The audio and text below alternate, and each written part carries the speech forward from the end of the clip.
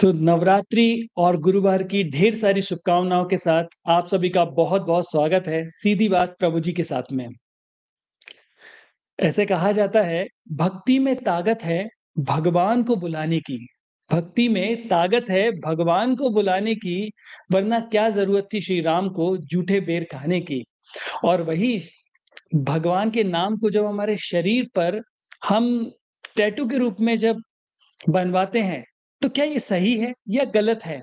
और आज इसी विषय पर हम चर्चा करने जा रहे हैं, जो बहुत ही महत्वपूर्ण विषय है। आजकल फ़ैशन में लोग बहुत सारे टैटू बनवा लेते हैं अपने शरीर पर और कई बार वह टैटू भगवान से संबंधित भी होते हैं और ये एक उलझन होती है कि वो जो कर रहे हैं, वो सही है या गलत है? तो आज इसी विषय पर हम चर्चा करेंगे और जो आज हमारे दर्शक नए हैं, जो हमसे आज पहली बार जुड़ रहे हैं, उनके लिए मैं हमारे आज के स्पीकर के बारे में संक्षिप्त में बताना चाहूँगा his grace Sanatan Dharma Prabhu ji.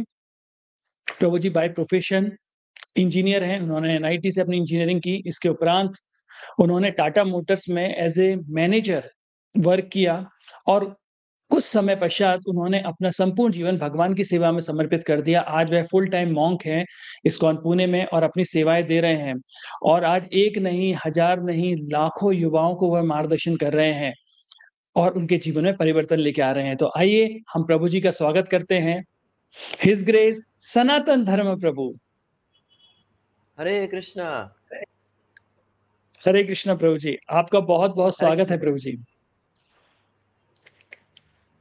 तो प्रभु जी आज का विषय बड़ा ही रोचक है क्योंकि जैसा हम देखते हैं कि फ़ैशन का दौर चल रहा होता है और फ़ैशन के दौर में नई-नई चीज़ें निकलती हैं। लेकिन फिर भी आज अभी जो फ़ैशन का दौर है और जो कुछ हमारे शास्त्रों में है, उसे हम जोड़ना चाहते हैं और जानना चाहते हैं। तो अगर आपकी आज्ञा हो तो क्या हम इस कड़ी को आगे बढ़ाएँ? हम बताना चाहते हैं जब शिलो प्रभुपाद जी हरे कृष्णा आंदोलन जो है, वो पाश्चात्य देश में लेके गए, तो हरे कृष्णा कट फ़ैशन बन गया। सब लोग जो है अपना सिर मुंडवा के जो है, यहाँ पे शिखा रख कर जो है, हाथ ऊपर करके हरे कृष्णा, हरे कृष्णा, तो वो हरे कृष्णा का कट बन गया। मेरी आपसे एक नम्र विनंती है, क्या आप म्यूट कर सकते हैं? Mute when I am talking? या थैंक यू। तो क्या है वो हरे कृष्णा कट बन गया और यहाँ तक कि मूवीज़ में भी लोग जो है हरे कृष्णा डिवोटीज़ के बारे में बताने लग गए। मूवीज़ में, कमर्शियल्स में, एडवर्टीजमेंट में और टीवी सीरीज़ में, यहाँ सब जो है हरे कृष्णा, हरे कृष्णा ऐसा करके जो है सभी लोग इस्कॉन को जो है नकल करने लगे। तो प्रभुपाद जी को ये बात जाके पहुँच गई कि क्या कर रहे हैं लोग जो है हमारी नकल उतार रहे हैं। पीपल आर इमिटेटिंग अस क्या करें? सो so, प्रभुपाद ने कहा imitation of good is good. यानी कि किसी अच्छी चीज़ की हम नकल करते तो अच्छी बात है, नो no प्रॉब्लम। तो ये भी एक फ़ैशन है। बहुत सारे जो है हेयर स्टाइल्स मार्केट में अवेलेबल है। This is called Hare Krishna cut जो बहुत फ़ेमस है। शिखा रख के जो है सिर मुंडवा लेना या फ़ैशन की बात की। तो लोगों को लगता था what is this? People are wearing bed sheets. ये धोती को बेड शीट बोलते हैं। तो लोग भी जो है काफ़ी इंटरेस्टिंग हो गए इंटरेस्टेड हो गए कि ये बेड शीट क्यों पहनते हैं? That's that became fashion, the talk of the town. सब लोग बात करने लग गए। You think why these people put paint on their uh, अपने सिर में क्यों पेंट लगाते हैं? उनको पता नहीं है कि सिर सिर पे नहीं, शरीर के 12 अंग में हम लोग लगाते हैं tilak, gopi chandan, right? So very good. तो हरे कृष्णा।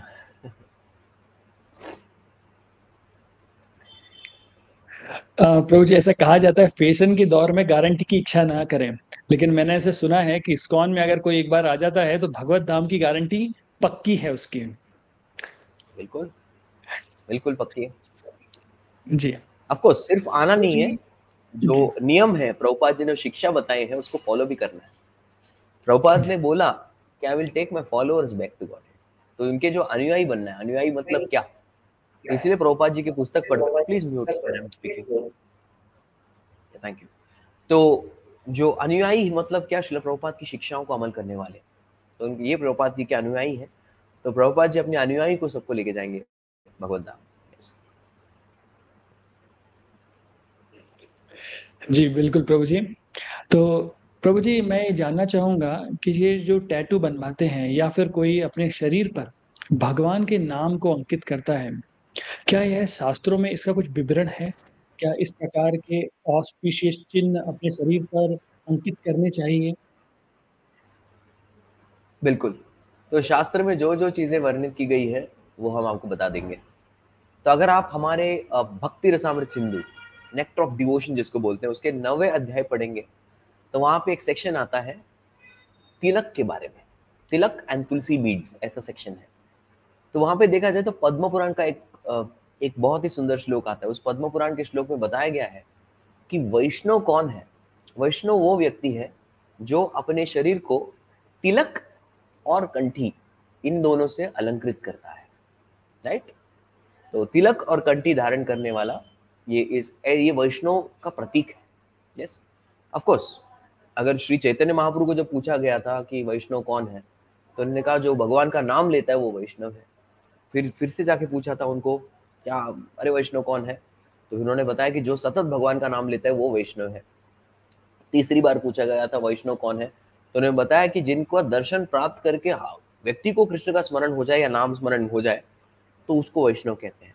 तो एज सच उनको जो है कभी उन्होंने बाहरी चिन्हों के बारे में बात नहीं की तो वैष्णवता जो है हरिनाम के उच्चारण से आती है। लेकिन वैष्णव को पहचान भी तो एक होती है। वैष्णव कौन है? वो पहचान में आना चाहिए। जिस प्रकार से विष्णु दूत कौन है? वो पहचान में आ जाते हैं। चतुर्भुज होते हैं, शंख चक्र गदा पद्म धारण करते हैं यमदूत कौन है? वो भी तो पहचान में आने चाहिए। तो उसी प्रकार से पद्म पुराण कहता है कि वैष्णव जो है, उनको पहचानने के लिए जो है, ये बताया गया है कि व्यक्ति ने जो है तिलक और कंठीमाला ये धारण करनी है। तो तिलक जो है, वो बारह जगह पे व्यक्ति जो है धारण करता है। यस? तो ये बारह जगह तिलक धारण करते तिलक क्या है? हमने पहले ही देख चुके हैं हम लोग। यस पहले इसके बारे में बहुत डिटेल में, विस्तार रूप में हमने चर्चा की है। नासादि केस पर्यतम उर्व ऊर्ध्वपुंड सुशोभनम छिद्रम मध्य समायुक्तम, तद्वसेद हरि मंदिरम तो ये क्या है? हरि मंदिर यानी कि भगवान का मंदिर निर्माण कर रहे हैं। व्यक्ति तिलक पहनता है किस लिए? व्यक्ति तिलक धारण करना है, करता है तो जैसे वो तिलक धारण कर रहा ओम केशवाय नमः ओम नारायणाय नमः। वो मंत्र उच्चारण करते हुए तिलक धारण करता है तो हरि मंदिर का निर्माण कर रहा है। तो भगवान जो है, वहाँ आके वास करते हैं। तो ये शरीर जो है, ये शरीर कुछ पंच महाभूत से बना हुआ कोई भौतिक पदार्थ नहीं है। हम लोग घोषणा कर रहे हैं कि ये शरीर जो है, ये भगवान का मंदिर है नंबर वन दूसरा, जब हम तिलक धारण करते हैं तो हमें ढेर सारी जो नकारात्मकता है इविल फोर्सेस नेगेटिविटी और कलयुग के दुष्प्रभाव, ऐसे प्रकार के दुष्प्रभाव से बचने के लिए जो है हम लोग तिलक लगाते हैं फॉर प्रोटेक्शन संरक्षण के लिए। और तीसरा, हम तिलक लगाते हैं तो कोई व्यक्ति तिलक को आके देखता है तो क्या हो रहा है? उसको भी कृष्ण का स्मरण हो जाता है। वो भी कृष्ण को स्मरण करता है। अरे, हरे कृष्णा, हरि बोल इसकॉन ऐसे करके कृष्ण का स्मरण करता है। बिल्कुल तो इसीलिए ऐसे धारण करते हैं। कमिंग बैक व्यक्ति जो है शास्त्र अनुसार अपने शरीर पर भगवान विष्णु के चिन्हों को भी धारण कर सकता है। हम्म। खास करके श्री वैष्णव के जो पंथ होते हैं, उनमें एक चीज़, जब दीक्षा होती है तो दीक्षा के पाँच अंग है। यस दीक्षा के पाँच अंग। नाम, हरिनाम, दूसरा ऊर्ध्वपुंड तीसरा छिन्न, चौथा जो है अर्चना, पांचवा है यज्ञ। इस प्रकार से ये पाँच चीज़ें दीक्षा बताती है, दीक्षा विधि, ये पाँच चीज़ों से होती है। श्री प्रभुपाद ने देखा कि उनके जो अनुचर थे, तभी पाश्चात्य देश के। तो उतने जो है योग्य नहीं थे। इसलिए प्रभुपाद जी ने क्या किया, इसको दो दीक्षा में वितरण कर दिया। तो ऊर्ध्वपुंड्र और नाम को जो है पहली दीक्षा बोल दी। फिर अर्चना और यज्ञ को जो है उन्होंने दूसरी दीक्षा का नाम लिया। और जो छिन्न है, छिन्न, इसको प्रभुपाद जी ने हटा दिया। वो वैकुंठ गति है। हमारी गति जो है वैकुंठ नहीं है, गोलोक वृंदावन है। तो चिन्ह हम लोग गौड़ी वैष्णव लगाते नहीं है। वरना अगर श्री वैष्णव को देखेंगे तो शंख चक्र, विष्णु के जो चिन्ह है, उनको लगाते हैं। ये शास्त्र अनुसार है। शंख, चक्र, गदा, पद्म, ये चार चिन्ह जो है, व्यक्ति लगा सकते हैं अपने शरीर पर। इसमें कोई आपत्ति नहीं है। इट्स अलाउड पद्म पुराण के हिसाब से। और उसके बाद जो है, ऐसा कहा गया कि जो व्यक्ति ऐसे सही चेतना में मंत्रोच्चारण करा के जो है, ऐसे चिन्ह और ऐसे तिलक को लगाता है। तो व्यक्ति जो है, जहाँ जिस भी स्थान में वो रहते हैं, उस स्थान को वैकुंठ बना देते हैं। ये है किसका? पद्म पुराण का कथन। नेक्स्ट फिर आगे जो है, प्रमाण देते हैं रूप गोस्वामी पाद और उसको प्रभुपाद जो है, उसका अनुवाद करते हैं। उसी प्रकार का एक वाक्य जो है, स्कंद पुराण में आता है। तो स्कंद पुराण में बताया गया है गोपी चंदन के तिलक के बारे में नंबर वन और दूसरा अपने शरीर के सारे अंगों को जो है व्यक्ति भगवान के नाम से जो है, भगवान के नाम से जो है उसको पेंटिंग करता है। तो भगवत नाम हर जगह केशव, माधव, गोविंद, हरि, दामोदर, इस प्रकार से पद्मनाभ। तो भगवान के जितने भी अलग अलग नाम है, कृष्ण, राम, मुकुंद, गोविंद, ये पूरे शरीर में भगवान का नाम लिख देना, ये भी जो है शास्त्र के अनुसार अलाउड है। यस तो व्यक्ति जो है, अपने पूरे शरीर को भगवान के नामों से भर सकता है। हरे कृष्ण महामंत्र से भी लिख सकता है। There is absolutely no problem ये शास्त्र में जो है अलाउड है। इनफैक्ट यमराज ने जो है, अपने यमदूतों को बता के रखा है कि जैसे तुम ये तिलक और तुम ये भगवान का नाम देखोगे, सो दूर से ही भाग जाना प्लीज़ उसके पास मत जाओ। क्यों? क्योंकि हमारे अधीन जो है, सब पापी जीवात्मा आते हैं। सिंफुल पीपल यस वही हमारे अधीन है जैसे ही किसी ने भगवान नाम का आश्रय लिया है यस yes? या भगवान के श्री चरण का आश्रय लिया है, ये हमारे जुरिस्डिक्शन यानी कि हमारे क्षेत्र में आता ही नहीं है व्यक्ति। ये हमारे क्षेत्र के बाहर वाला व्यक्ति है। तो कृपा करके पंगा मत लीजिए। अजामिल जैसा केस वापस नहीं होना चाहिए। पिछली बार विष्णुदूत ने छोड़ दिया था। क्या पता अगली बार नहीं छोड़े। तो ध्यानपूर्वक, सावधानी बरतनी चाहिए। राइट तो फिर से एक और श्लोक आता है पद्म पुराण में, जहाँ पे फिर से प्रमाणित है कि सैंडलवुड पल्प यानी जो चंदन है और पेंटिंग भगवान के अलग अलग नामों का पेंटिंग जो है, ये धारण करने से व्यक्ति जो है, दो चीज़ें हो जाती है। एक तो सारे पापों से मुक्त हो जाता है और दूसरा ये शरीर, देह त्याग करने के बाद सीधा भगवान के धाम जाता है। राइट तो अगर आप भक्ति रसामृत सिंधु के नवा अध्याय पढ़ेंगे so this is mentioned very clearly yes जी प्रभु जी आपने बहुत अच्छे तरीके से बताया। आ, मेरा इसमें प्रश्न उठता है कि कई बार हम देखते हैं लोग भगवानों के नाम को अपने हाथ पर या हथेली पर लिख लेते हैं और बताते हैं कि कई बार हम उन अवस्थाओं में नहीं रहते या उन शरीर के अंगों को स्पर्श कर देते हैं जो कि गलत है। तो क्या उससे पाप नहीं लगता व्यक्ति को? हाँ हाँ हाँ।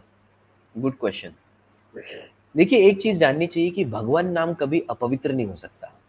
हाँ अभिन्नत्व नाम नामिनो नाम चिंतामणि कृष्ण चैतन्य रस विग्रह पूर्ण शुद्धो नित्य मुक्तो अभिन्नत्व नाम नामिनो भगवान और उनके नामों के बीच में कोई अंतर नहीं है।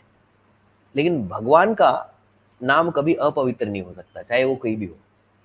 उल्टा सर्व अमंगल हरे इति हरि भगवान की इतनी शक्ति है अगाध महिमा है कि जिस भी क्षेत्र में वो रहे यस वो क्षेत्र को पवित्र कर देते हैं। और जो वैष्णव उसको धारण करते हैं, उसको पवित्र कर देते हैं। यस और एक और चीज़ बताना चाहता हूँ, शरीर के हिसाब से जो है, शरीर का जो अगला भाग है फ्रंट पार्ट उसको जो है, शुचि कहा गया है। शुचि यानी कि शुद्ध। और शरीर का पिछला भाग जो है, वो मुची है। उसी प्रकार से नाभि के नीचे, निचला वाला भाग जो है, वो भी मुची है।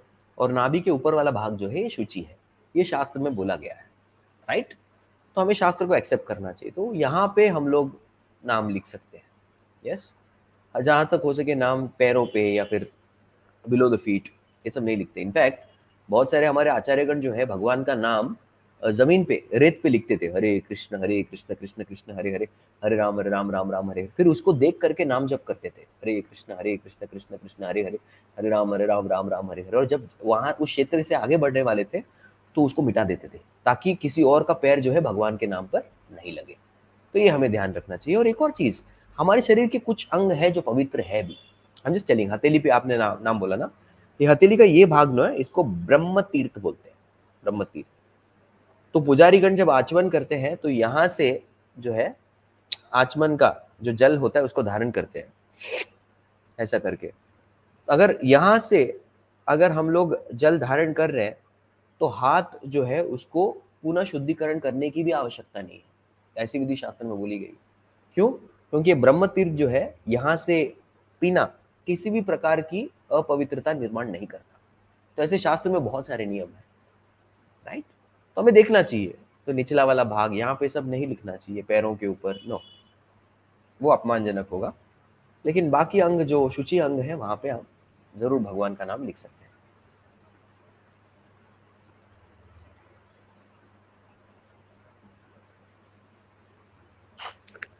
तो जैसा प्रभु जी आपने बताया कि सुचि और मुचि का कंसेप्ट आपने दोनों हमें बताया। अब ये प्रश्न ये भी उठता है कि कई बार लोग भगवान के नाम लिखते हैं और कई बार कई देवी देवताओं की प्रतिमा को भी अपने शरीर में या उनके फ़ोटोज़ को बनवा लेते हैं। तो क्या ये भी शास्त्रों में विवरण है? हरे कृष्णा। एक चीज़ जो है, भावना जो है व्यक्ति की, वो भावना एक तरीके से उनकी ये है कि वो हमेशा जो है, उनके जो उपासक है, उनके साथ रहना चाहते हैं। ये सद्भावना है जैसे हनुमान जी ने भी अपनी छाती फाड़ करके जो है सीताराम लक्ष्मण के दर्शन कराए थे। हाँ कि नहीं? उनके शरीर में। तो भावना सद्भावना है, लेकिन हमेशा हमें याद रखना चाहिए कि जो भी हम करें, वो शास्त्र अनुसार होना चाहिए। To be according to shastras. तो शास्त्र अनुसार जो बताया गया है, उसका जितना तक हम लोग पालन करेंगे, क्योंकि भावना एक चीज़ है और शास्त्र का सिद्धांत एक चीज़ है। तो हम जब भी कुछ करते हैं तो शास्त्र का पालन अवश्य होना चाहिए। तो जहाँ तक हमने सुना है, जहाँ तक हमने सुना है, शरीर को नामों से जो है अलंकृत करना, ये शास्त्र में अलाउड है।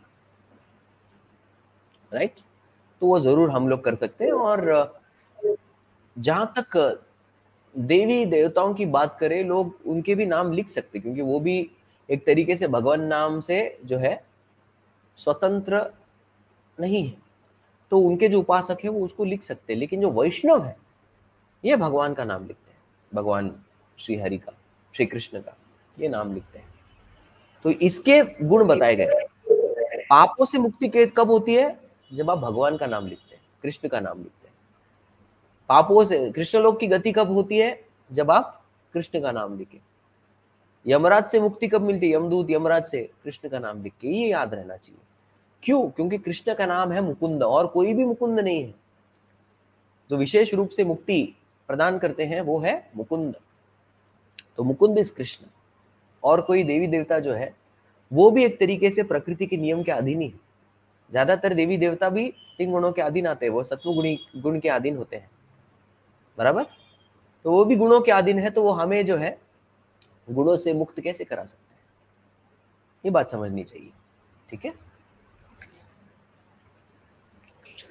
जैसा कई बार हम देखते हैं कि लोग फ़ैशन में आके कई बार माता जी लोग मेहंदी लगाते हैं और मेहंदी लगाने के बाद उसमें श्री राधे या भगवान का अन्य नाम भी उसमें लिख देते हैं।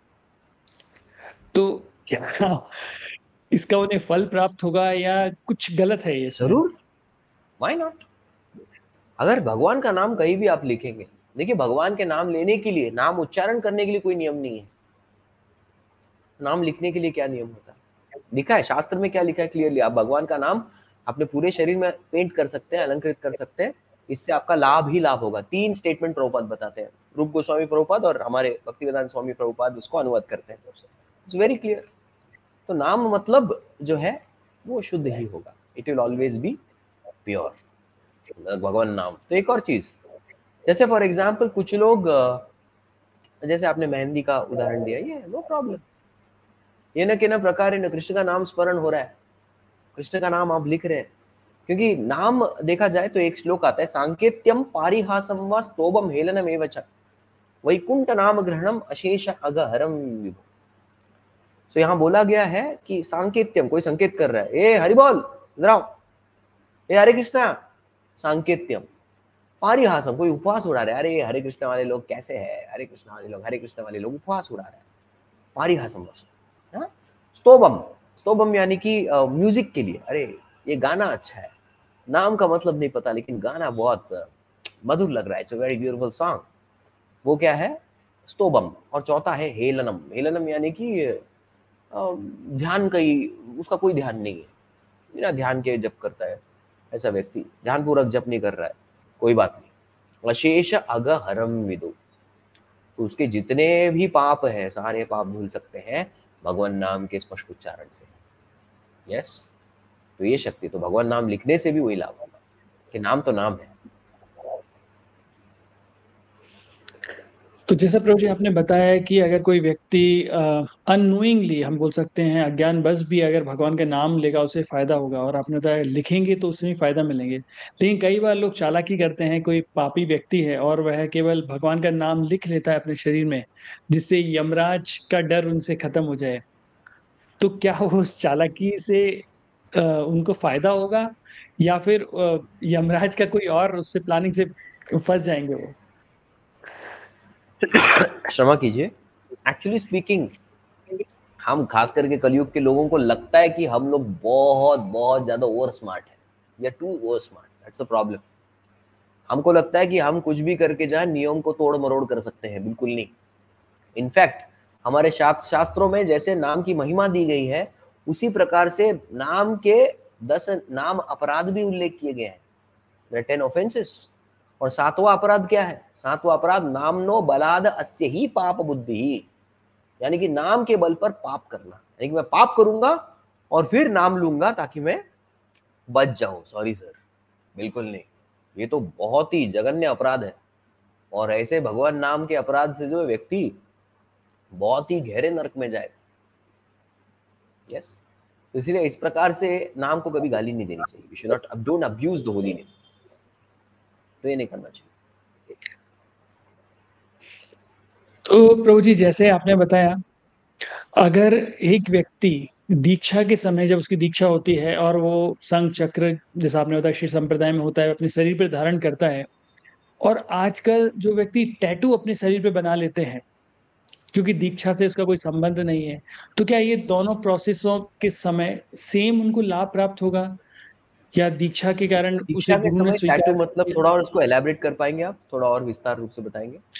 आ, जैसे प्रभु जी आजकल चलता है कि मशीन की हेल्प से लोग अपने शरीर पर टैटू बनवाते हैं। और वो टैटू परमानेंट बन जाता है पूरा उनके। और कोई कोई स्लोगन लिखवाता है कोई नाम लिखवाता है कोई भगवान की प्रतिमा बनवाता है या फिर अलग अलग तरीके से भी करते हैं। तो एक जैसा आपने बताया कि शास्त्रों में वर्णित है कि दीक्षा के समय पर व्यक्ति अपने शरीर पर ये संघ चक्र पद पद्म अलग अलग हाँ। संकेत वो लेता है। और एक तरीके से ऐसा हो रहा है टैटू में वह अपने शरीर पर अंकित कर रहा है। तो क्या ये दोनों प्रक्रिया समान है या कुछ अंतर है इनके अंदर? देखिए जब हम टैटू की बात करते हैं एक तरीके से भावना सही है। वो किसी गलत चीज़ का टैटू नहीं बना रहा किसका टैटू बना रहा है? भगवान से संबंधित चीज़ों का टैटू बना रहा है। और हाँ कि नहीं? दैट्स गुड दैट्स ओके बिल्कुल, बनाइए। अगर कोई व्यक्ति नया है, भक्ति भावना में, या फिर अभी तक पूरा परिपक्व भक्त नहीं भक्त नहीं बना हुआ है इज़ एब्सोल्युटली नो प्रॉब्लम कोई कोई इशू नहीं है, कुछ तो किसी और चीज़ का टैटू बनाने से अच्छा है कि वो जो है, भगवान का ही टैटू बना ले, भगवान के नामों का इट्स फाइन बट मैं दो चीज़ें बताना चाहता हूँ कि बहुत बार ऐसे टैटूज बनाए के मैकेनिकल वो एक तरीके से एक मैकेनिकल चीज़ हो जाती है। अभी मैकेनिकल का I not getting the right word in Hindi मतलब क्या बोले? एकदम अचेत रूप से हो जाता है। जैसे फॉर एग्ज़ाम्पल आपने कुछ मंदिरों में देखा होगा, मैं भी चौक गया, जब हम मंदिर में, मंदिरों में जो है भगवान का दिया जलाते हैं हाँ कि नहीं? तो कुछ लोगों ने क्या किया? कुछ लोगों ने जो है वहाँ पे एक लाइट लगा दिया छोटा सो, छोटा बल्ब होता है ना वो लगा के उसको इलेक्ट्रिसिटी ऑन कर दिया। तो हमको लगता है दिया जल रहा है दिया जल रहा है दिया जल रहा है दिया जल रहा है लेकिन एक्चुअली देखा जाए तो क्या है? इट्स मशीन मशीन है। बहुत जगह जो है जब भगवान जी ठाकुर जी की आरती होती है तो घंटी बजनी चाहिए। घंटी कौन बजाते हैं? भक्त लोग बजाते हैं। घंटी बजाते हैं मृदंग बजाते हैं ढोल बजाते हैं और इस तरीके से जो है वो भगवान भगवान जो कुछ भी करे वो क्या है? इट्स अ फेस्टिवल वो एक उत्सव है। भगवान खाना खाए तो उत्सव, भगवान सो जाए तो उत्सव, भगवान सो के उठे तो उत्सव। एवरीथिंग इज़ फेस्टिवल तो हर कोई फेस्टिवल को जो है धूमधाम से मनाना चाहिए। तो धूमधाम से घंटियाँ बजाते हैं tang tang tang tang drums तो अभी आजकल मंदिरों में कोई नहीं है, क्योंकि शिक्षा प्रचार नहीं हो रहा, इसलिए लोगों को इसका महत्व नहीं पता। तो लोग जो है मंदिर सबको छोड़ छाड़ के जो है अपने पुरखों का मंदिर, वो अपना अपना पैसे कमाने में लगे और कोई जानता हूँ लोगों ने क्या कर दिया तो लोगों ने जो मशीन लगा दिया। टिंग टिंग डोंग डोंग टिंग टिंग डोंग डोंग टिंग टिंग डोंग डोंग ऐसे करके वो मशीन बजता है अरे इतना अच्छा बजा रहा शंख भी ऐसे करके कौन भी बज जाता है वो my God that's very mechanical व्यक्ति जो जाएगा उसको भक्ति भाव कैसे अनुभव होगा? है ना? तो उसी प्रकार से अगर हम जब रोज तिलक लगाते हैं ओम केशवाय नमः नासादि केश पर्यंतम ऊर्ध्वपुंड्रम सुशोभनम छिद्रम मध्य समायुक्तम तद वसेद हरि मंदिरम तो ऐसी चेतना से जब हम तिलक लगाते हैं। तो भक्ति भाव जागृत होता है, ये भी भक्ति है। चौसठ अंग होते हैं भक्ति, रूप गोस्वामी पाद ने बताए हैं। तो ये चौसठ अंग में से ये बहुत मुख्य अंग है। Is also very important tilak लगाना राइट भगवान खुद तिलक लगाते हैं। हाँ कि नहीं? सो so, तिलक जो है ये जान और शान का प्रतीक है पर्सन हैज़ लाइफ इसलिए वैदिक परंपरा में कोई भी हो अलग अलग प्रकार से तिलक वो लगाती है वैष्णव ब्राह्मण जो है वो ऊर्ध्वपुंड लगाते हैं कुछ कुछ ब्राह्मण जो शैव आप म्यूट कर लीजिए यस वो जो है भस्म लगाते हैं और क्षत्रिय होते हैं वो अर्धचंद्र लगाते हैं वैश्य होते हैं वो बिंदु लगाते हैं इस प्रकार से तिलक की परंपरा जो वर्णाश्रम में भी है इट इज़ देर इसके बारे में हमने बहुत गहराई में चर्चा की है। एक और सीधी बात में। But the point I to say अभी मेक इट हियर कि जब हम लगाते हैं, मेहनत करते हुए रोज सुबह उठ के, नहाने के बाद संध्या काल में जब लगाते हैं तिलक तो एक चेतना बनती है कि मैं कृष्ण का दास हूँ। एक चेतना बनती है कि मैं जो हूँ, ये शरीर मेरा नहीं, ये कृष्ण का मंदिर है। एक चेतना बनती है कि जब हम लगाते हैं तिलक तो हम दूसरों को भी कृष्ण का स्मरण कराने में सहायता कर रहे हैं, उनकी सेवा कर रहे हैं। Yes so it's a very conscious activity ये बहुत ही ज़्यादा एक सचेत प्रक्रिया है। इसको लेकिन जैसे अगर कोई व्यक्ति हर जगह टैटू बना लेगा, भावना भले सही हो सद्भावना से ही बना रहे, लेकिन फिर वो चेतना एक टाइम के बाद चली जाएगी becomes very mechanic don't you think आप लोग बताइए। वॉट यू थिंक ये मेरे हिसाब से लगता है मुझे। कैसे बिकम्स और दूसरी चीज़, आजकल के जो टैटूज बनते हैं, अगर आप थोड़ा रिसर्च करेंगे तो हमारे स्किन के ऊपर हमारी जो चमड़ी है, हमारे स्किन है, हमारे शरीर के ऊपर, वो बहुत सारे जो है प्रॉब्लम्स समस्याएँ भी आ सकती है। इस रैशेस हो सकते हैं, इस स्किन की कोई एलर्जी हो सकती है, और काफ़ी केमिकल्स सब यूज़ होते हैं। यस तो ये गोपी चंदन तो बढ़िया है, गोपियों का जो है चरण कमल है this is natural makeup kit of all the gopis हाँ? तो ये लगाना कोई बात नहीं, बड़ी बात है। लेकिन अगर कोई व्यक्ति जो है, वो केमिकल्स लगाता है अपने शरीर पर तो उसका रिएक्शन बहुत गंभीर होगा। सो दैट वो भी एक फैक्टर है, वो देखना चाहिए। तो जितना हो सके भगवान का पेंटिंग जो है, हमें चंदन से करना चाहिए। और उसको प्रतिदिन करना चाहिए। कर, करना है तो प्रतिदिन कीजिए, ताकि क्या हो जाए, हम लोग सचेत अवस्था में कॉन्शियसली उस चीज़ को करें। ना कि अचेत होकर के, अरे, लगा दिया अभी, दबा लग गया नॉट लाइक लेकिन जो चिन्ह शास्त्र के अनुसार लगे गए हैं, जैसे विष्णु के चार चिन्ह ये सब लगाना दैट इज़ एब्सोल्युटली क्योंकि वो शास्त्र में है इट इज़ परफेक्ट अभी शास्त्र कुछ बोलते हैं तो उसको प्रमाण हम लोग उस शास्त्र से कभी वाद विवाद नहीं करते। जैसे कि शास्त्र में कहा गया है कि जो हड्डी होती है किसी प्राणी की, वो बहुत ऊँची होती है। हड्डी को छुएँगे तो तुरंत व्यक्ति ने नहाना चाहिए। लेकिन वॉट इज़ कॉन्च जो शंख हम बजाते हो क्या है? हड्डी तो है। है ना? समुद्र में पाने वाली हड्डी है। लेकिन वो बचता है तो सारा मंगल में वातावरण निर्माण हो जाता है, क्योंकि वो कॉन्च विष्णु का प्रतीक है।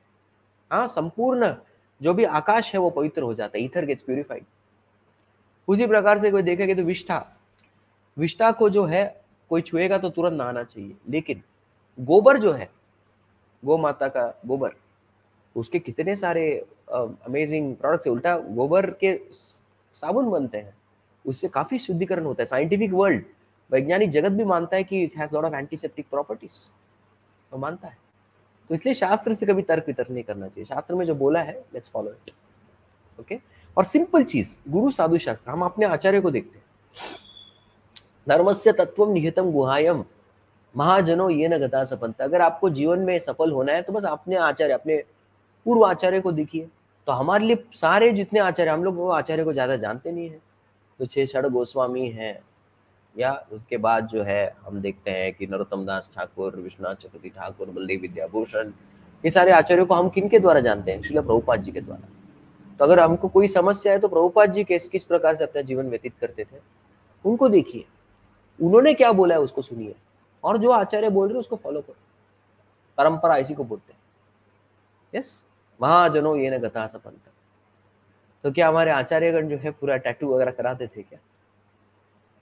यू कैन चेक लेकिन आचार्यगण प्रभुपा जी का आज ही मैं वीडियो देख रहा था, वहाँ पे वीडियो में प्रभुपा जी जो है बहुत ही गंभीरता से जो है तिलक लगा रहे हैं वेरी सीरियसली सप्लाइंग तिलक लगाते समय, नहीं प्रभुपा जी, एक शुद्ध भक्त का यही लक्षण होता है।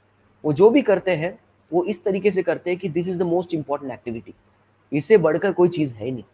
चाहे वो नाम जप हो, वैष्णव की सेवा हो, प्रचार हो या फिर तिलक लगाना हो be very conscious in the present moment और उसको एकदम पूरे उत्साह के साथ और पूरे श्रद्धा के साथ उसको लगा रहे थे प्रभु। यस बहुत बहुत धन्यवाद प्रभु जी। आ, ऐसा कहा जाता है कि भक्ति जो होती है वह हृदय की धरोहर होती है। और जैसे हम देखते हैं कि जब लोगों ने प्रश्न किए और हनुमान जी ने अपने हृदय में राम दरबार को दिखा दिया उन्होंने बताया कि भगवान मेरे हृदय में है।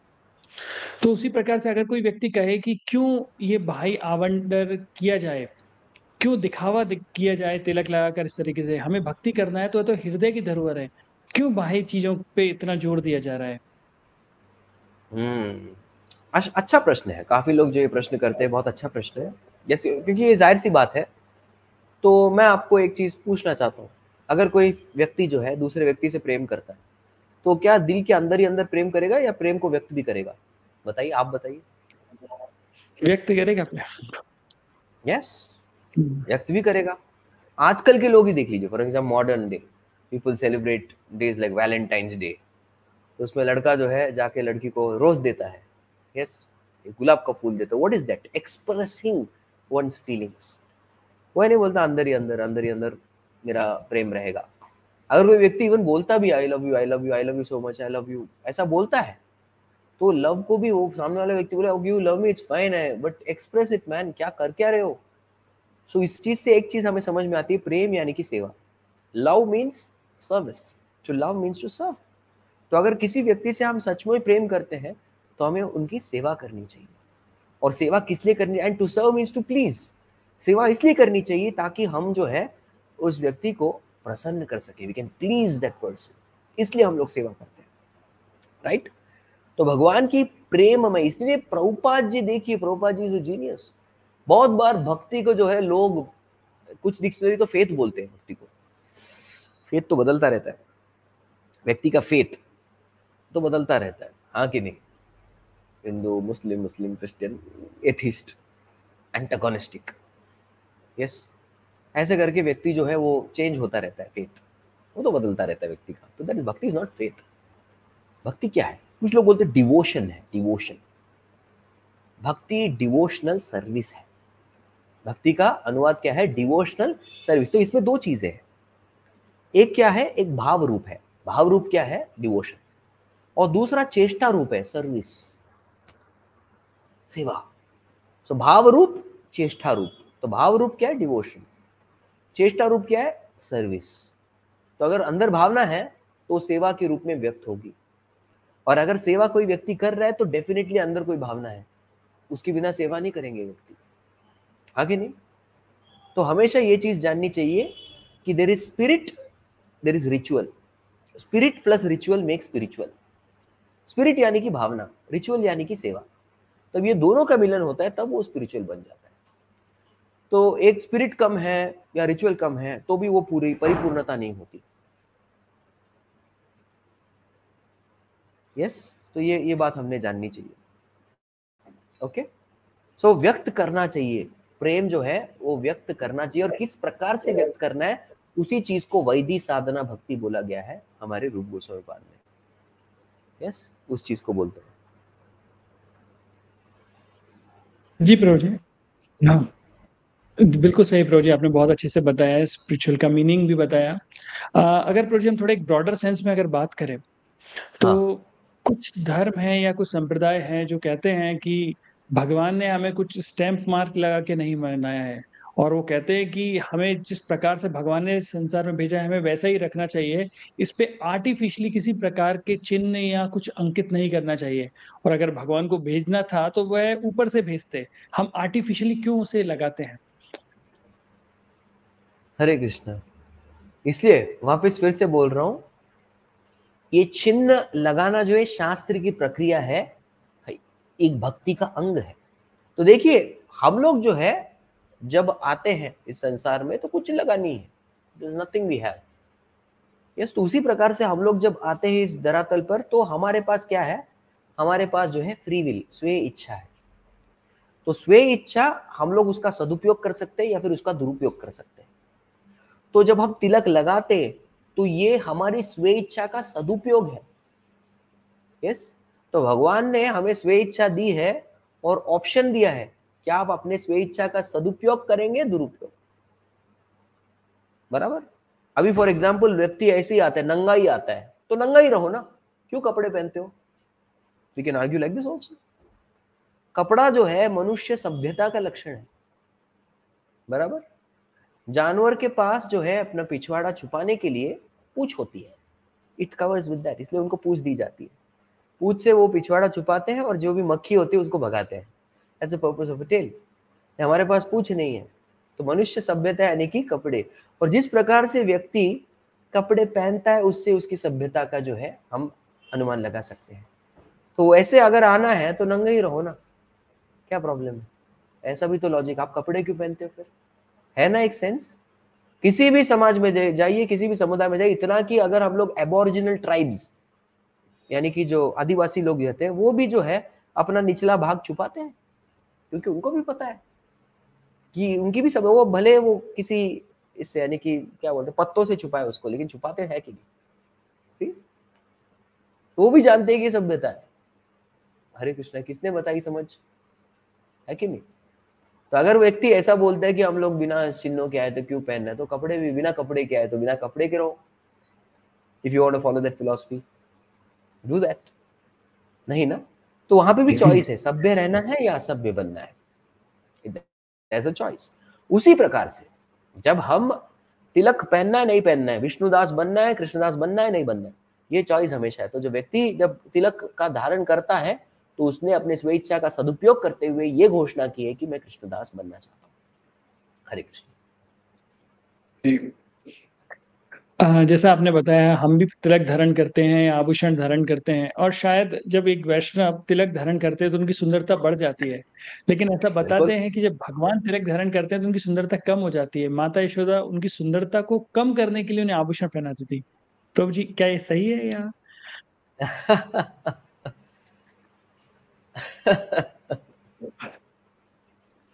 सच यशोदा मैया भगवान में, भगवान के संपर्क में जो है, जो आभूषण इत्यादि आते हैं तो परम पदम भूषण भूषणांगम। तो नॉर्मली व्यक्ति आभूषण धारण करता है खुद का सौंदर्य बढ़ाने के लिए। लेकिन जब भगवान के शरीर में सारे आभूषण लग जाते हैं तो आभूषणों की सुंदरता बढ़ जाती है, क्योंकि वो भगवान के संपर्क में आ गए। ऐसे शास्त्र ने कहा है। और जो मैंने सुना है कि यशोदा मैया जो है आभूषण सब अलंकृत करके कृष्ण का ऐश्वर्य बढ़ा देती है। और ये गोपगण जो होते गोप बालक, उनको अच्छा नहीं लगता। अरे, कृष्ण का ऐश्वर्य बढ़ गया। तो माधुर्य कम हो गया। इट्स नॉट इट सौंदर्य, माधुर्य कम हो जाता है। और वो माधुर्य को जो है, बढ़ाने के लिए, माधुर्य की सौंदर्य। गोपगण क्या करते हैं, कृष्ण के सारे आभूषण निकालते हैं और वन में जितने भी फूल हैं, फल है पुष्प है या पत्र है, उन सबसे भगवान को अलंकृत करते हैं।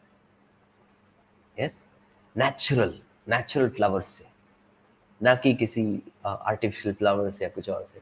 तो वन में जो उपस्थित है नेचुरली कृष्ण को डेकोरेट करते हैं आ इससे उनको जो है अत्यंत आनंद होता है। तो यस आभूषण लगाते तो भगवान का क्या बढ़ता है? ऐश्वर्य बढ़ता है। और ऐश्वर्य बढ़ता है तो मधुरिमा कम हो जाती है। लेकिन गोपगण क्या करते हैं? वो ऐश्वर्य हटा के फिर से माधुर्य बढ़ा देते हैं। हरे कृष्ण। जैसे प्रभु जी देखा जाता है कि वैष्णव और भी बहुत सारी चीज़ें रखते हैं। जैसे आपने बताया कि वह शिखा भी रखते हैं और कई हम देखते हैं संप्रदाय में लोग शिखा नहीं रखते हैं। तो पहले तो मैं जानना चाहूँगा, शिखा रखना एक संकेत है तो इसका महत्व क्या है? और अगर इसे कोई धारण नहीं करता तो उसका क्या मतलब क्या ये गलत है या ये चल सकता है?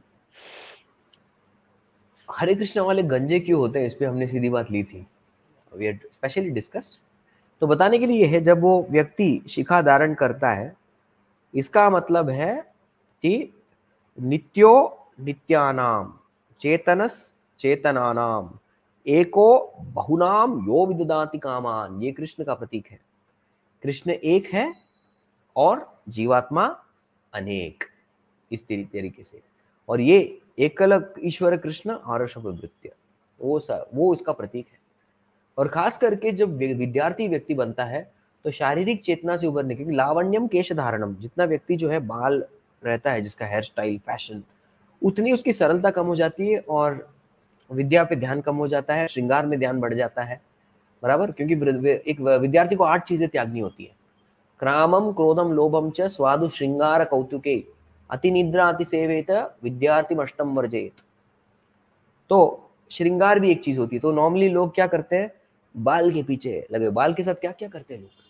शैम्पू अलग अलग प्रकार के शैम्पू और उसके बाद यूवी प्रोटेक्शन के लिए कुछ कंडीशनर लगाते हैं और अलग अलग प्रकार के एलमेंट ऑयल कोकोनट ऑयल अलग अलग प्रकार के तेल लगाते हैं और उसके बाद जो है लोग जेल लगाते हैं। तो बालों पे देखा जाए तो कितना लोग खर्च करते हैं, है नहीं? और फिर बालों के लिए लोग जो है अलग अलग प्रकार के स्टाइलिस्ट के पास जाते हैं। हेयर स्टाइलिस्ट सैलून्स वहाँ जाके जो है अलग अलग प्रकार के स्टाइल कराते हैं स्पाइक्स बनाते हैं हेयर स्टाइल बनाते तो कितना टाइम जाता है उसमें? कितना पैसा बर्बाद होता है? लेकिन वैदिक लाइफ में सिंपल लाइफ मुंडन कर दो शिखा रख दो। तो ये हमें शारीरिक चेतना से ऊपर निकलता है। थर्ड थिंग देखा जाए तो गुरु जो है, अपने शिष्य को शिखा पकड़ के करेक्ट करेक्शन करता है। और एक और वस्तु दी गई है, जब भी कोई एक ब्राह्मणिकल एक्टिविटी करेंगे, जैसे जप हो गया, शास्त्र पाठ तो शिखा बंदी होनी चाहिए। बिना शिखा अगर खोल दे तो you cannot do any brahmanical activity कोई भी ब्राह्मणिकल एक्टिविटी शुरुआत करने से पहले शिखा बांधनी पड़ती है। शिखा बांधने के बाद ही जो है one should do any brahmanical activity ये सब शास्त्र में लिखा गया मैंने बोला आपको मैंने अपनी शिखा बाँध दी फिर खोल के बाँध दी।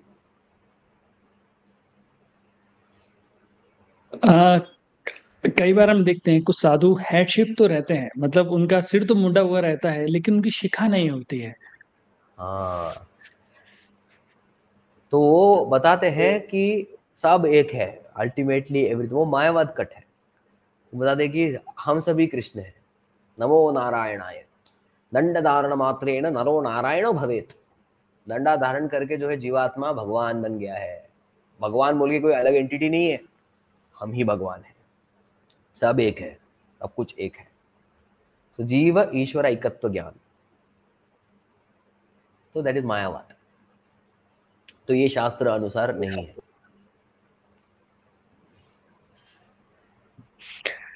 प्रोजी प्रश्न तो बहुत सारे हैं लेकिन आ, ये मैं अपना अंतिम प्रश्न पूछूँगा जिससे हमारे जो ऑडियंस है वो भी आपसे प्रश्न कर सके।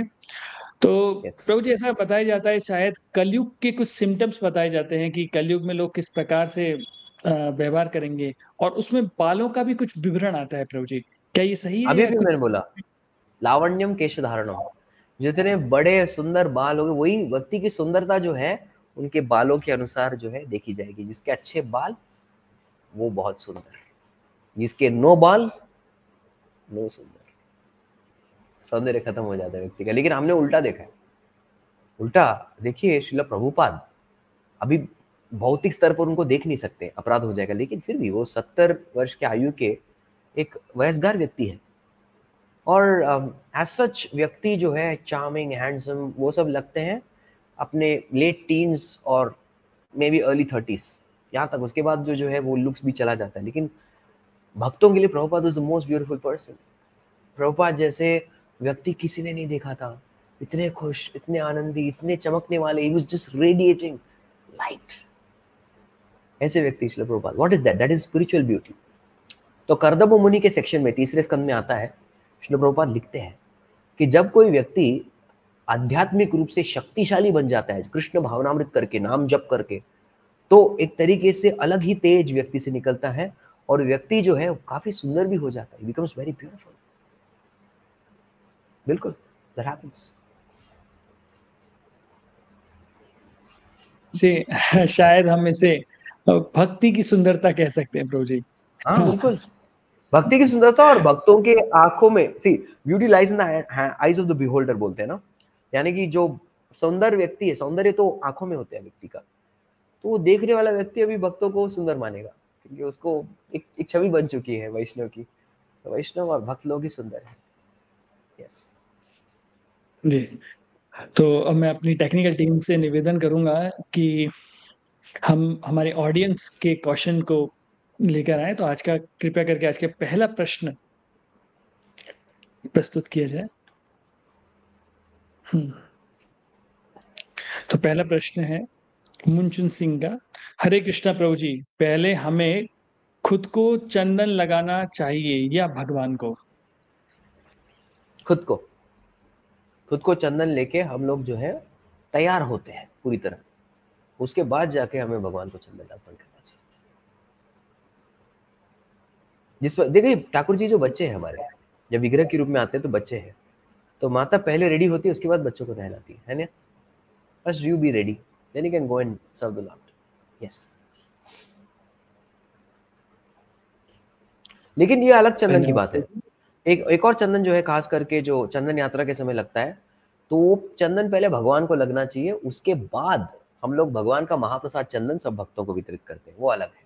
So both the cases I have told you जो महाप्रसाद चंदन, वो पहले भगवान को लग के फिर हमारे पास आता है वो महाप्रसाद चंदन।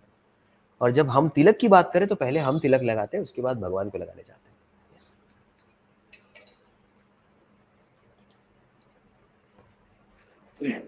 धन्यवाद प्रभु जी। अगला प्रश्न अगला प्रश्न जो है वो मानसी जी का है साक्ष साक्षात दंडोत प्रणाम प्रभु जी मैंने भी भगवान कृष्ण का टैटू बनवाया, बनाया हुआ है.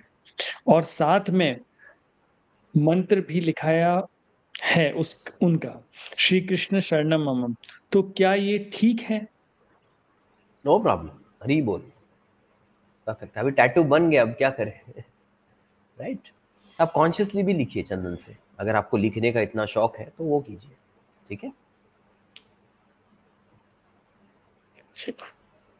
धन्यवाद प्रभु जी।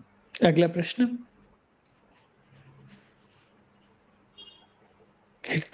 जी, भट्टाचार्य जी का जो प्रश्न है।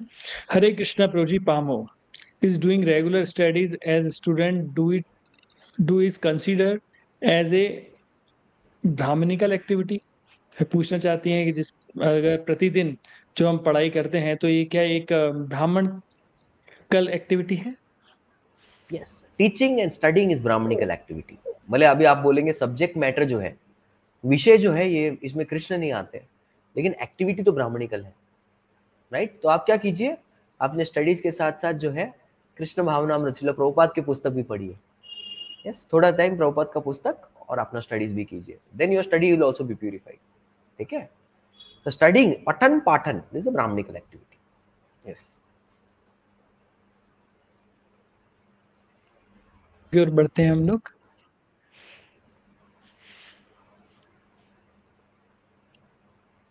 शुभम जी का प्रश्न है हरे कृष्णा प्रभु जी क्या हम संडे एंड एकादशी को तुलसी जी को पानी डाल सकते हैं और चैंटिंग करते समय मन कंसंट्रेट नहीं रहता। हाँ हाँ हाँ हाँ। प्रभुपाद ने बहुत ही सुंदर तरीका बोला है कि हमें we have to train our ears to hear हमें कानों को जो है प्रशिक्षित करना है कि हम हरिनाम को सुने। ये तब होता है, प्रभुपाद बताया कि अगर हम रात को सोने से पहले 20 मिनट कम से कम कृष्ण पुस्तक पढ़े तो हमारे कान जो है अगले दिन हरिनाम सुनने के लिए तैयार हो जाते हैं। So that preparation is required और अगर नहीं पढ़ पाए तो अगले दिन कुछ ना कुछ तो नाम के बारे में श्रवण कीजिए या पढ़िए, वो आप कर सकते हैं राइट और तुलसी जी को पानी आप डाल सकते हैं रोज, कोई प्रॉब्लम नहीं। प्रतिदिन तुलसी की सेवा करनी चाहिए हमें कितनी कुछ भी हो।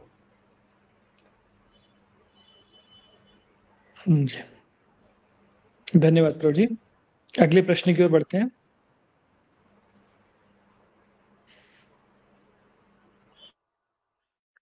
सत्यम कुमार जी का प्रश्न है, क्या भगवान के तस्वीर वाले चैंटिंग बैग यूज़ करना चाहिए? आई रेकमेंड जितना हो सके बैग पे भगवान का तस्वीर, क्योंकि भगवान का तस्वीर भगवान ही है। हम लोग कई बार किधर रख देते हैं उनको, पीछे कर देते हैं, पीठ पे लगती हैं, पसीने के बीच में जाती है। Not good best is you have a clean bead bag clean bead bag Hare Krishna.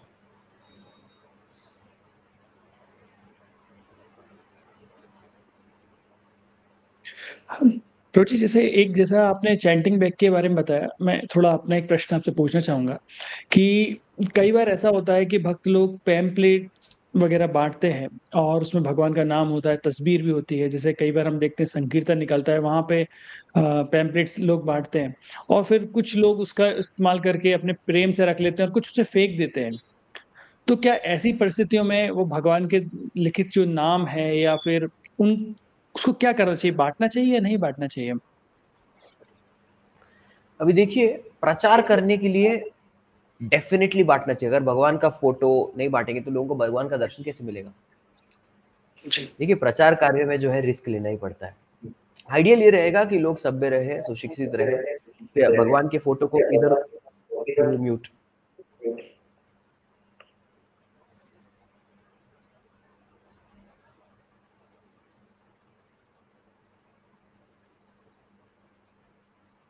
Mute हो रहा है? हरे कृष्ण। हरि बोल। ऑडियंस क्या आप मुझे सुन पा रहे हैं?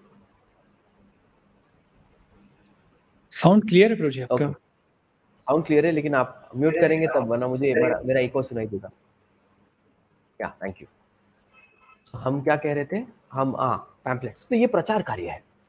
तो प्रचार कार्य में जो है हमें रिस्क तो लेना पड़ेगा ताकि लोगों को सुशिक्षित प्रशिक्षित भी करना चाहिए कि भगवान का फ़ोटो है, संभाल के रखिए घर पे। इधर उधर फेंकिए मत। उसको आप दीवार पे लटका सकते हैं, टंगा सकते हैं। इसका कटआउट बना के आप चार्ट पे रखा, लगा सकते हैं। लेकिन कहीं कूड़ेदान में वगैरह मत डालिए। चाहिए तो निर्मालय में डाल सकते हैं। और निर्मालय क्या है समझाना चाहिए कि यहाँ पे भगवान का महाप्रसाद हम डालते हैं। और निर्माल्य को अगर हम लोग नदी में या ज़मीन में या अग्नि में डाल सकते हैं, इन तीन जगह पर तो उनको शिक्षित, उनको अन्य कचरे के साथ नहीं मिक्स करना चाहिए। सिमिलरली प्रभु जी कई बार लोगों के घर पर भगवान की फ़ोटोज़ आती है, फ्रेम्स आती हैं और थोड़े समय बाद थोड़ा खराब हो जाती है। या फिर हम देखते हैं कुछ जो भगवान की अर्च विग्रह या मूर्तियाँ बोलेंगे हम सिंपल तो खंडित भी हो जाती है। तो उनको किस प्रकार से मतलब क्या उन्हें भी निर्माल्य करना चाहिए या किस प्रकार नदी में विसर्जन कर देना चाहिए, यही शास्त्र बताते हैं। अगर मूर्ति भगवान की जो श्री विग्रह है, वो म्यूट सॉरी बार-बार याद दिलाना है। यस तो ये अगर हम लोग जो है नदी में डालते विसर्जन कर देना चाहिए उन्हें। और अन्य भगवान के रिलेटेड कोई भी महाप्रसाद हो जैसे उनके फूल हैं राइट उनके फूलों को महाप्रसाद को ये सब चीज़ हम लोग जो है जो शेष बचा है उसको हम नदी में बहा सकते हैं। दैट्स ऑलवेज सेफ़ विसर्जन कर देते हैं।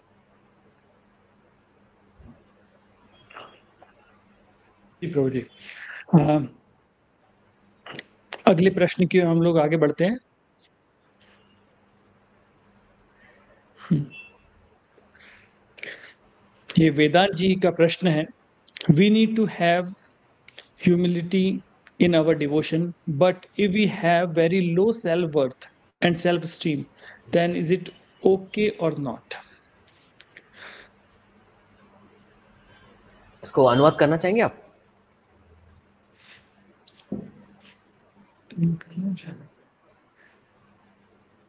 हाँ यस प्रभु जी। तो वेदांत जी पूछना चाहते हैं कि हम कहते हैं कि हमें भक्ति में विनम्र भाव रखना चाहिए विनम्र रहना चाहिए लेकिन आ, लेकिन हम कभी ऐसा अपने आप को कमज़ोर या थोड़ा सेल्फ एस्टिमेट मीन्स स्टीम कम आंकने लगते हैं तो क्या ये सही है या गलत है? हम्म। देखिए जो ह्यूमिलिटी है यानी विनम्रता है ये सत्व गुण वाली ये सत्व गुण की एक गुण है। ये सत्व सत्व में है ये। लो सेल्फ वर्थ यानी कि व्यक्ति जो है अपने आप को कोसता है, अपने आप को कुछ तुच्छ मानता है, ये तमोगुण से जागृत होने वाली है। जब व्यक्ति विनम्र है तो भगवान के लिए प्रचंड कार्य करेगा। तो प्रभुपाद जी ने क्या लिखा अपने मार्कंडे भागवत धर्म में? यू आर इनसिग्निफिकेंट बेगर वो अपने आप को एक तुच्छ भिक्षुक मानते थे। और इस भावना से वो जो है पाश्चात्य देश में प्रचार करने गए। लेकिन अगर व्यक्ति का लो सेल्फ अरे मैं किसी काम का नहीं हूँ, मैं नालायक हूँ, वो व्यक्ति कुछ नहीं करेगा। वो अपने लिए नहीं कुछ कर पाएगा, दूसरों के लिए क्या करेगा? करेक्ट तो विनम्रता क्या है? विनम्रता यानी कि सच्चाई ऑनेस्टी मैं जो हूँ, भगवान श्री कृष्ण का एक तुच्छ सेवक बनने का प्रयास कर रहा हूँ। लेकिन लो सेल्फ वर्थ मतलब मैं किसी काम का नहीं हूँ, मैं कुछ नहीं कर सकता। विनम्रता में व्यक्ति बोलता है, हालाँकि मैं तुच्छ हूँ, लेकिन अगर भगवान की कृपा मिलेगी तो मैं बहुत सारे कार्य कर सकता हूँ। मेरे, भगवान जो है, मेरे थ्रू यानी कि मेरे द्वारा बहुत बड़े बड़े कार्य सिद्ध कर सकते हैं। लो सेल्फ वर्थ वाला व्यक्ति जो है, वो उसका केंद्र बिंदु अपने आप ही है। जो विनम्र रहता है, उसका केंद्र बिंदु कृष्ण है, आचार्यगण है, प्रभुपाद जी है। लेकिन जो जो लो सेल्फ वर्थ वाला व्यक्ति है लो सेल्फ एस्टीम वाला, वो is I centric person yes तो वो कुछ नहीं, वो एक तमोगुण का लक्षण है। होपफुली आप जान गए उसको। तो लो सेल्फ वर्थ अगर किसी का है तो उसके जो है मेंटर से बातचीत करके, उसको you should learn how to count his blessings देखिए, कोई भी व्यक्ति जो है इज़ नॉट यूजलेस इनपरफेक्ट जैसे प्रभुपाद जी जो है, भागवतम के पहले स्कंद में बताते हैं दो प्रकार के वृक्ष एक प्रकार के वृक्ष जो है वो फूल और बहुत सारे जो है अलग अलग फल प्रदान करते हैं। और कुछ वृक्ष होते हैं, वो कांटेदार वृक्ष होते हैं, उनको पहले प्रभुपाद यूजलेस बताते हैं। लेकिन बाद में प्रभुपाद जी बताते हैं कि इट इज़ नॉट यूजलेस इनको हम फ्यूल के रूप में यूज़ कर सकते हैं।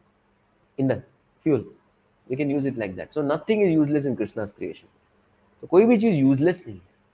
तो कोई भी व्यक्ति यूजलेस नहीं है, अपना डेफिनेटली तुच्छ रूप से भी वो कृष्ण की सेवा ज़रूर कर सकता है। ठीक है?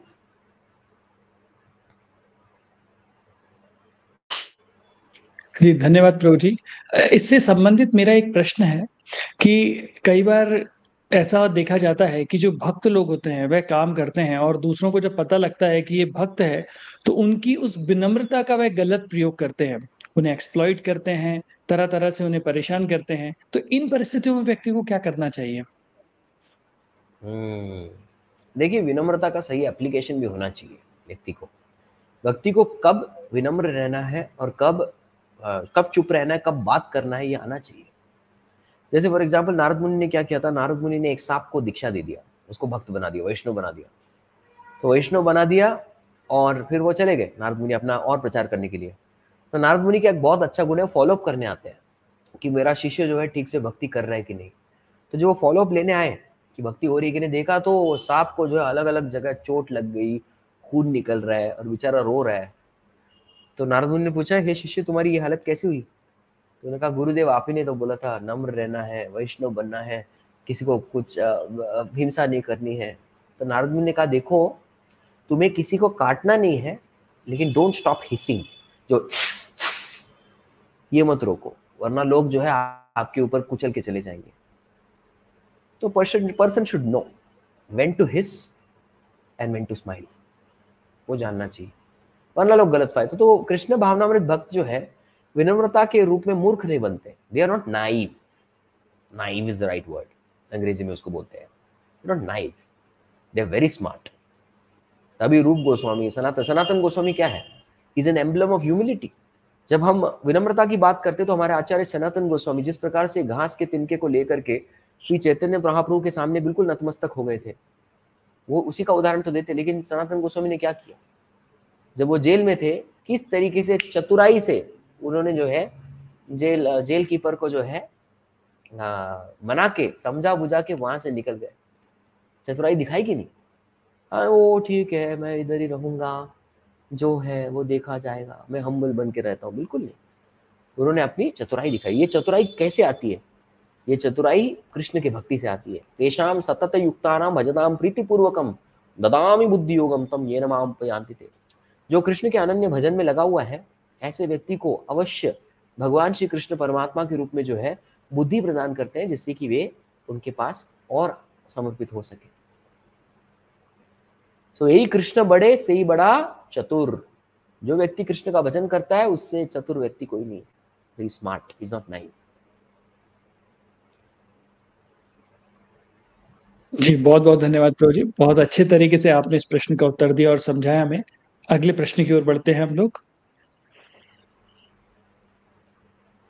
दो fun I was planning to make a tattoo of Vaishnava tilak on the back and lower back as it gets difficult to do so using chandan and our own hands would that be wrong तो पूछना चाहते हैं कि मैं एक वैष्णव तिलक का tattoo बनवाना चाहता हूँ अपने पीछे और अपने नीचे मतलब कमर के नीचे लोअर बैक तो क्या ये, क्योंकि तो वहाँ पर तिलक लगाना थोड़ा सा मुश्किल होता है तो क्या ये सही, क्या ये गलत है?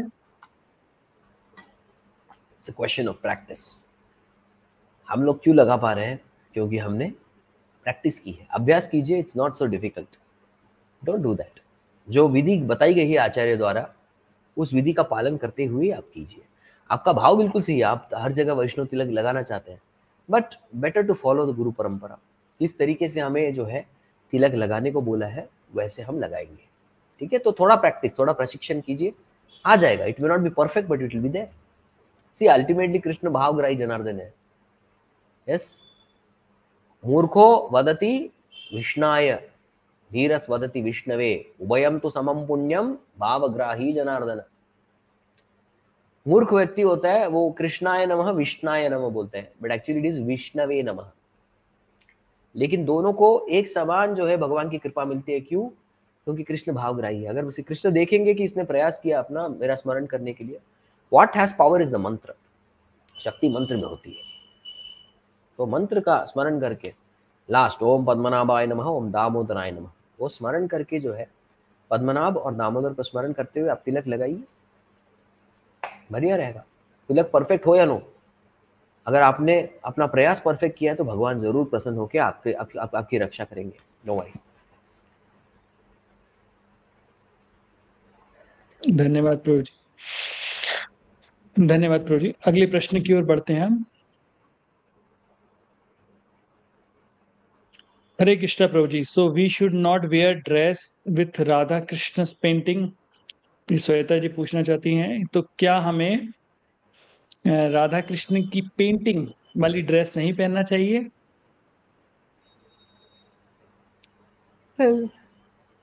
If it's making you Krishna conscious you can wear अगर आप कृष्ण भावनामृत अपना कृष्ण भक्ति कृष्ण भावनामृत चेतना जो है आपकी बढ़ रही है, आपको देख करके दूसरों की भी बढ़ रही है चेतना तो आप पहन सकते हैं नो प्रॉब्लम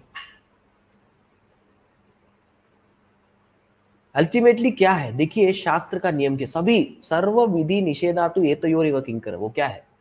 स्मर्तव्यम सततम विष्णु विस्मर्तव्यम ना तो जातु तो हमें जो है कृष्ण का स्मरण करना है और कृष्ण का विस्मरण कभी नहीं करना है।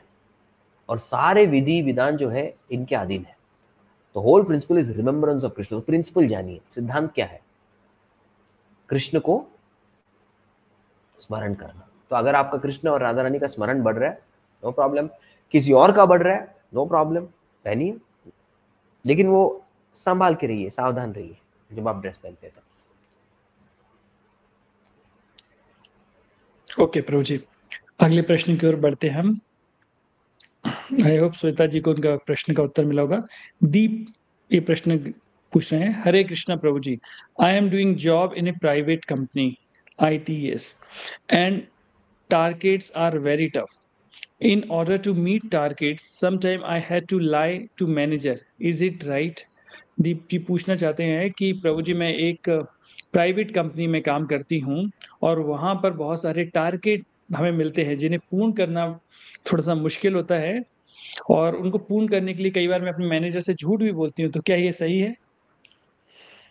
झूठ बोलना अधर्म है। इट्स फैक्ट असत्य बोलना जो है अधर्म का लक्षण है। इट इज़ गैम्बलिंग चार नियम का उल्लंघन करना है। लेकिन अगर आप कृष्ण के लिए झूठ बोल रहे हैं with the blessings of your mentors अपने भक्तों से विचार जितना हो सके झूठ नहीं बोलना चाहिए। देखिए, आप जो है चतुराई से अवॉइड टेलिंग द ट्रूथ ठीक है ना?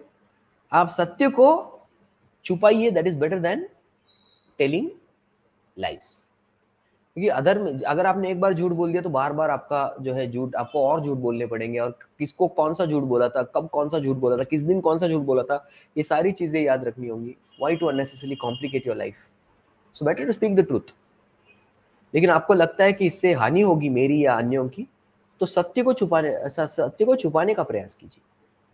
But to life of Krishna there is no problem बहुत बार लोग बताते हैं कि युधिष्ठिर महाराज जो है, युधिष्ठिर महाराज का रथ जो है महाभारत युद्ध में वो ज़मीन पर नहीं था, वो उड़ रहा था, ऊपर था, ज़मीन के ऊपर था, दिव्य स्तर पर था, क्योंकि वो दिव्य पुरुष थे, धर्म के प्रतीक थे।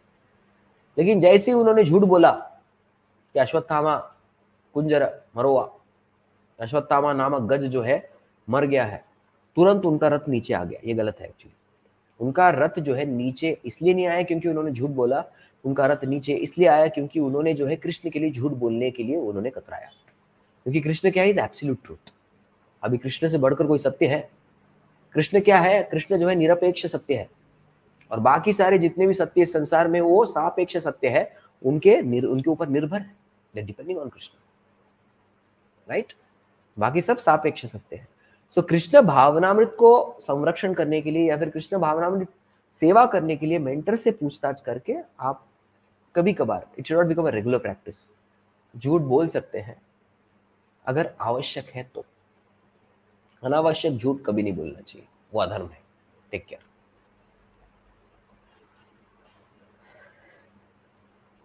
बहुत धन्यवाद प्रभु जी। बहुत ही अच्छे तरीके से आपने इस प्रश्न का उत्तर दिया। अगले प्रश्न की ओर बढ़ते हैं हम लोग। श्वेता जी का है Prabhu if we can we can do visarjan और nirmalya can be put it in plant pots पूछना चाहती हैं अगर हम एक तरीके से मिट्टी में। क्या है बोलिए बोलिए अनुवाद कीजिए. हाँ मैं पूछना चाहती है कि प्रभु जी अगर हम निर्माल्य में जाके विसर्जन नहीं कर पाते तो क्या ऐसे हमें पेड़ों के जो गमले हैं या वहाँ पर डाल देना चाहिए? यस अगर आप जो महाप्रसाद है भगवान के वो मिट्टी में भी डालते हैं there is no problem you putting it on earth it's allowed शास्त्र द्वारा ये जो है प्रमाणित है। नो प्रॉब्लम आप कर सकते हैं। जी बहुत बहुत धन्यवाद प्रभु। अगले प्रश्न की ओर बढ़ते हैं।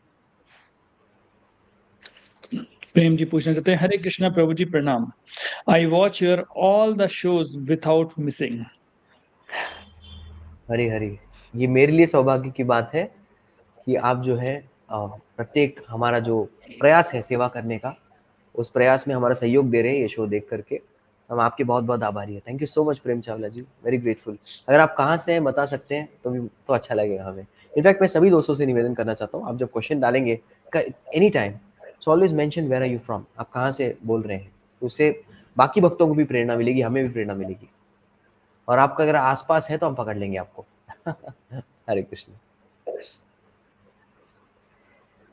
जी। धन्यवाद प्रभु जी।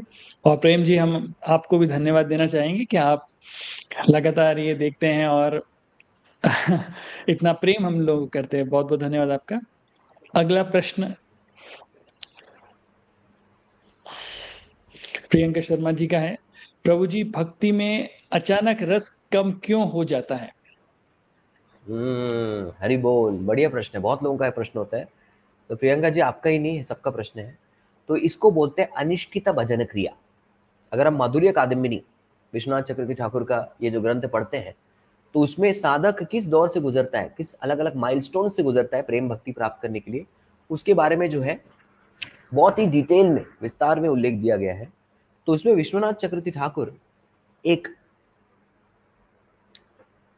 अनिश्चित भजन क्रिया में एक स्तर बताते हैं, जिसका बहुत सारे है, उत्साहमयी, व्यूढ़ विकल्प गर तरल नियमा क्षमा तो ऐसे बहुत सारे स्तर है तरंग रंगिनी घन तरण तो ये जो आप बात करें कि अचानक रस आता है, फिर कम हो जाता है।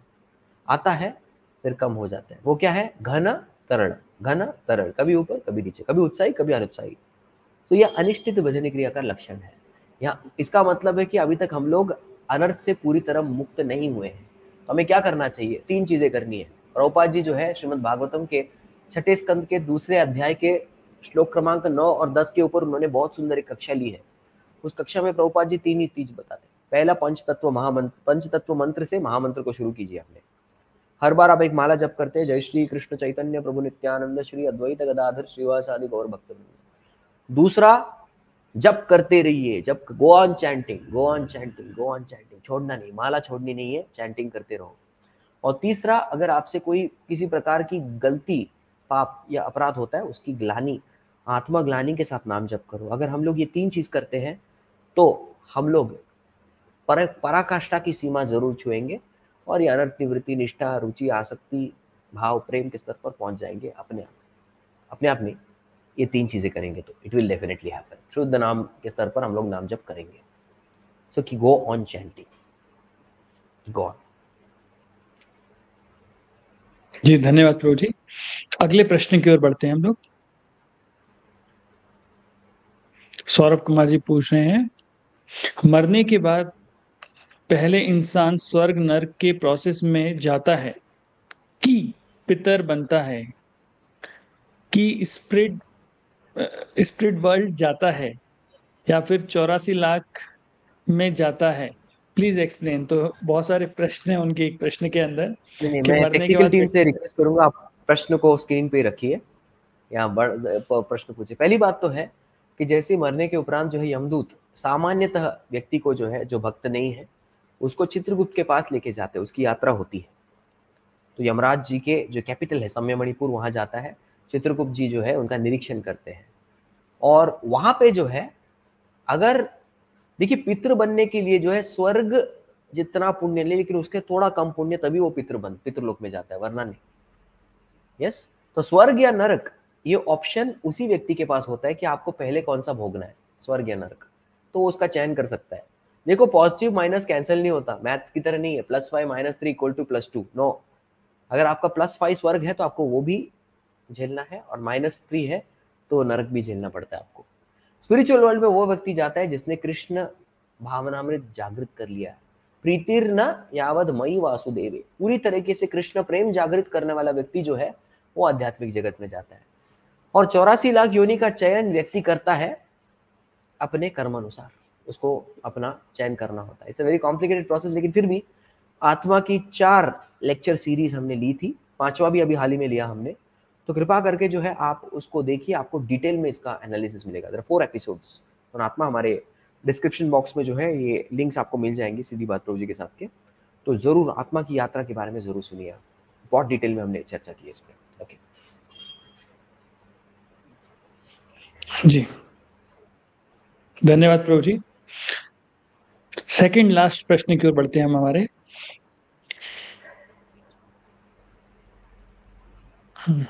ये सिद्धार्थ तिवारी जी का प्रश्न है sometime I waste my day and regret at night and over thinking what immediate step I should take to bounce back Siddharth ji पूछना चाहते हैं कई बार मैं दिन का अपना जो समय है, वह नष्ट कर देता हूँ या खराब कर देता हूँ। और रात में उसके लिए बहुत ज़्यादा चिंतित होता हूँ रिग्रेट करता हूँ और बहुत ज़्यादा ओवर थिंकिंग मैं करता हूँ, सोचता हूँ। तो ऐसे क्या स्टेप ली जाए जिससे मैं वापस अपनी चेतना में आ सकूँ, मैं या बाउंस बैक कर पाऊँ?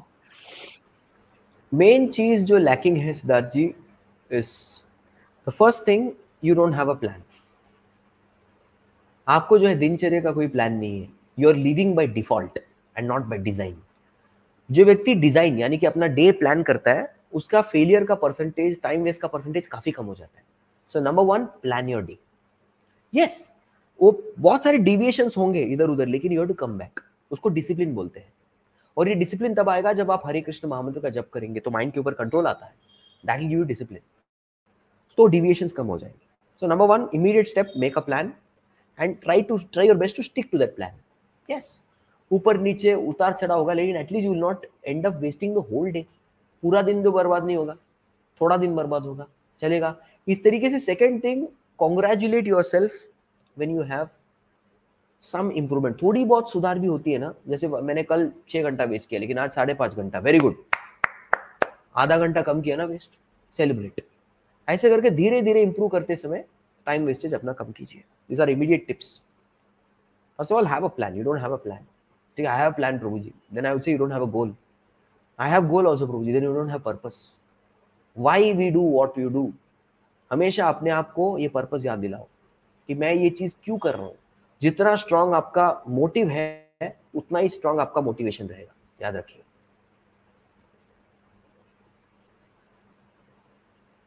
अमेजिंग आंसर प्रोजी बहुत बहुत धन्यवाद। लास्ट प्रश्न की ओर बढ़ते हैं प्रोजी हम आज के। ये सूरज राव जी का प्रश्न है, Hare Krishna प्रोजी when we keep chanting on our tulsi mala regularly, does the mala develop any kind of power thanks तो मैं पूछना चाहते सूरज जी की जब हम तुलसी माला पर जप करते हैं नियमित रूप से, तब क्या उस माला के अंदर कुछ शक्ति आ जाती है किसी प्रकार की? माला इज़ ऑलवेज़ प्योर अगर आप तुलसी माला की बात करें तो तुलसी देवी हमेशा शुद्ध है। इनफैक्ट हम उनकी सेवा करते हैं ताकि हमें भी गोलोक में जो है स्थान प्राप्त हो जाए, सेवा प्राप्त हो जाए राधा कृष्ण की, उसकी अभिलाषा करते हुए हम उनकी सेवा करते हैं। So she is always pure, don't worry. तो उनके उनके संपर्क में आने से हमें पावर ज़रूर डेवलप होगा, पावर ऑफ़ भक्ति। यस तो पावर माला में नहीं, पाला माला जप करने वाले में आती है, जब वो नाम जप करते हैं। ठीक है? बहुत बहुत धन्यवाद Hare Krishna Hare Krishna Krishna Krishna Hare Hare Hare Ram Hare Ram Ram Ram Hare thank you so much बहुत बहुत धन्यवाद बहुत-बहुत धन्यवाद प्रभु जी, आपने बहुत ही अच्छे तरीके से सेशन को लिया। मैं जस्ट ब्रीफली आपसे चाहूँगा कुछ कंक्लूडिंग वर्ड्स इस सेशन के लिए। कंक्लूडिंग वर्ड्स एक ही चीज़ बोलूँगा, ये सेशन था टैटू यूज़ करने चाहिए कि नहीं है, प्रिंसिपल याद रखिए। प्रिंसिपल दो चीज़ प्रिंसिपल बहुत इंपॉर्टेंट है। पहला कि हमें कृष्ण का स्मरण बढ़ाना है। हमेशा कृष्ण को याद रखना है, कभी कृष्ण को भूलना नहीं है। लेकिन कृष्ण को स्मरण करने के तरीके जो आचार्यगण ने जो दिए हैं, अगर हम उनके अनुसार हमारा जीवन शैली रखेंगे, तो हम अधिकतर लाभान्वित होंगे। Just remember this. बहुत-बहुत धन्यवाद। हरे कृष्ण। कृष्ण हरे कृष्णा दर्शकों, तो आपने देखा किस प्रकार से आज प्रभु जी ने हमें टैटूज़ के विषय में बताया। ये जो टैटूज़ हैं, इसके बारे में बताया कि पहले वैदिक काल में भी ऐसा हुआ करता था कि दीक्षा के समय में एक शिष्य अपने शरीर पर विभिन्न प्रकार के अ, हम बोल सकते हैं ऑस्पिशियस मार्क अर्थात जो सांकेतिक रूप है, जैसे शंख हुआ, चक्र हुआ, पद्मा हुआ, वो अपने शरीर पे धारण करते थे या भगवान के नाम को अपने शरीर पे धारण करते थे। और ऐसा बताते हैं अगर कोई व्यक्ति मज़ाक में भी या फिर किसी के परिहास में अगर भगवान के नाम को लेता है या लिखता है या फिर उसको देखकर उसे चेतना आती है, तो उससे बहुत ही फ़ायदा मिलता है। और एक और बहुत काम की चीज़ प्रभु जी ने बताई कि अगर किसी व्यक्ति ने इन चीज़ों को धारण किया हुआ है, तो यमराज जी या यमदूत उस व्यक्ति को हाथ नहीं लगाएँगे क्योंकि यमदूत बताते हैं यमराज जी यमदूत से कहते हैं कि ये उनकी ज्यूरिडिक्शन अर्थात उनके कार्य क्षेत्र के बाहर के लोग हैं। उन्हें केवल पापी लोगों को पकड़ना है, ना कि ऐसे लोग जिन्होंने भगवान के प्रति अपना प्रेम जागृत कर लिया है। लेकिन उन्होंने ये भी बताया कि टैटूज़ हमें ध्यान रखना चाहिए, कुछ ऐसी जगह है जहाँ पर हमें नहीं बनवाना चाहिए, जिसके कारण से उनका अनादर हो सके। जैसे हमारा लोअर पार्ट होता है, जो प्रभु जी ने शुचि और मुचि का कंसेप्ट बताया था उसके अनुसार। तो आज की कड़ी में यहीं तक रखते हैं। नेक्स्ट एपिसोड में हम लोग फिर मिलेंगे एक नए टॉपिक के साथ। तब तक के लिए हरे कृष्णा।